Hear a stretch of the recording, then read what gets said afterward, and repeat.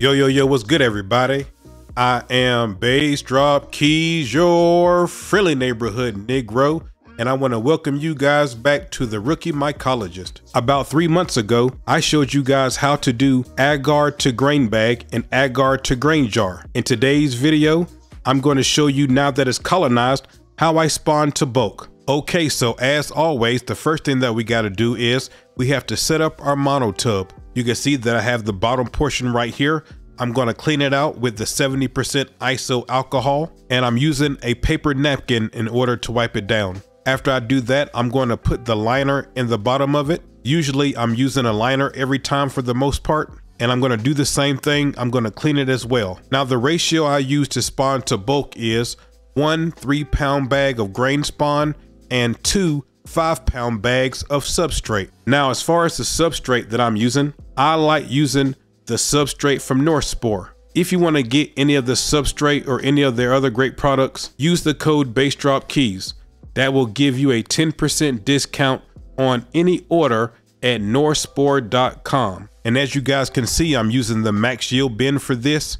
If you want to get the Max Yield bin or the Boomer bin from Northspore, they're also available at northspore.com. But what I'm going to do is I'm going to take one of the five pound bags and I'm going to put it at the bottom and spread it all around, breaking up the big clumps. So that way we don't have any big clumps of substrate in here. After that's completed, I'm going to take my grain spawn. You can check it out right here. You can see that it's fully colonized. And now you guys are probably wondering, why do you have that out of the bag already? Well, the video that you guys seen yesterday of me putting two all-in-one bags in one mono tub, I actually made a mistake. And the first time that I did it, I actually cut open two grain bags instead of the two all-in-one bags. The first time I did it, I cut open two grain bags and put it in there. So I ended up having to do the video over. But at any rate, that's why the grain spawn is already out of the bag is because I made a mistake it's just a small mistake because I was doing this video anyway, but that's what happened. And so basically I'm treating this like a lasagna, substrate at the bottom, grain spawn in the middle. Once that's done, I don't use a casing layer. I do a pseudo casing using the substrate. So I'm gonna take another five pound bag, put it on the top, spread it all around, and that's how I spawn to bulk.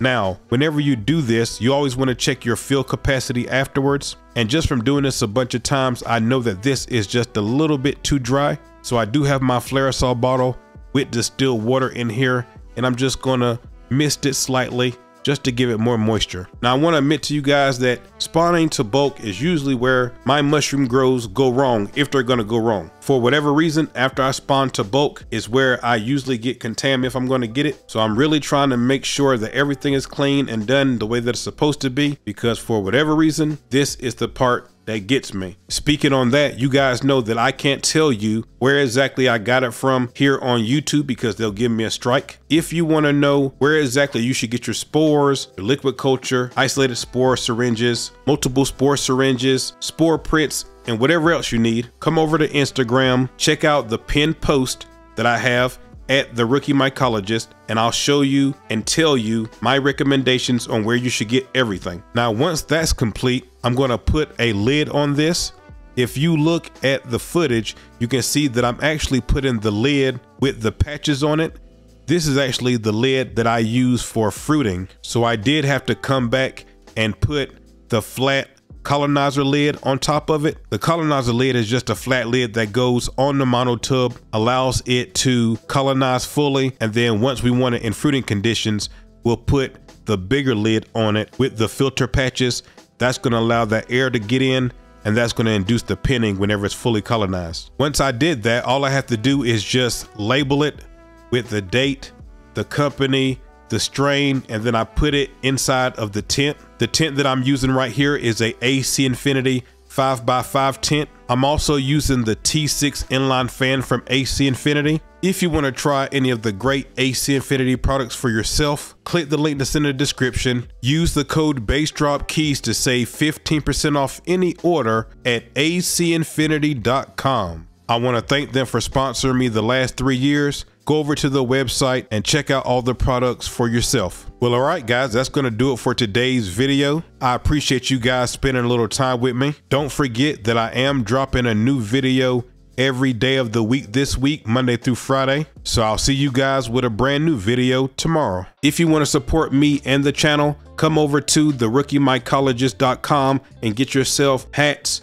shirts, slides, and a lot of other cool merch that I have on the site. This has nothing to do with mushrooms, but if you like gambling, I did start a new channel called The Rookie Gambler. The link will be in the description. If you're interested, I really appreciate all of you guys. And until I see you guys the next time, peace, guys. I'm out.